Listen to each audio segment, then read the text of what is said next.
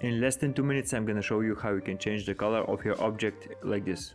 First go to the color tab, then select the color warper, which is this icon, and here you can play with the hue and saturation. You can see the color wheel with 6 sides.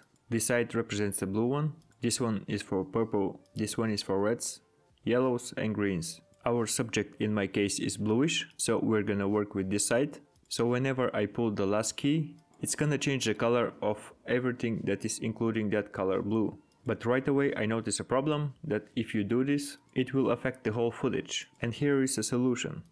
You can select the window icon right here and we are gonna make a mask. To be perfectly aligned, we need to select this icon because we're using the free version. If you're using the studio, you can use the magic mask, but it's also achievable in here, in the free version.